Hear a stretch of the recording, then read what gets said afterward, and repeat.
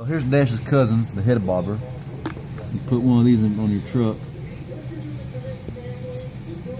Of course. As you see, it is a Taco Bell dog. Okay, this is fake. And then we got the real thing over here. Hey Dash, it's your cousin? Hey, you want a Taco Bell, cuz? What up, cuz? Going on? You want to go to North, North, North Hollywood with me? Yeah, man.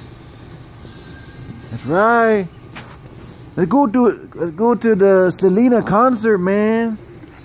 Go get a couple of uh, couple of beers, man. Go to Corpus Christi, Texas. What up, home? Oh yeah. See. Hey Dash. You're a celebrity. You're a Taco Bell dog. See, well, as y'all can see, the Taco Bell dog. The, Look on top of his head. He's got a white streak like that. yeah, he does. Yep. See, the, yeah, white streak like the t- that the the fake one, and as y'all can see, the real one. Come here, real Dash. See, he's got a real one Hey, on top of his head right there. So, yep, it's confirmed. This is this little rat in my hand is the uh, authentic head bobber that came to life with some magic fairy dust, and he just came to life. All right, there you go, buddy. There you go.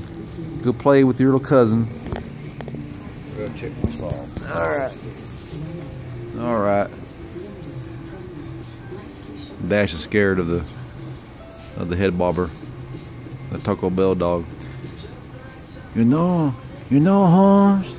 That's my cousin down there, down yonder. You know, we tried to go to Corpus Christi, you know, but he didn't want to go across the border.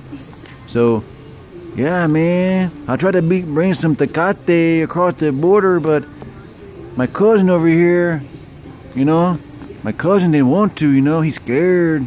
Ain't that right, cuz? Anyway, well, I got to go, you know what I'm saying? I see y'all later.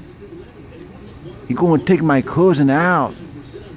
Gonna take my cousin to a to a club. I say that's my cousin, you better have her back at 11 home. Ain't that right? We family. We family home.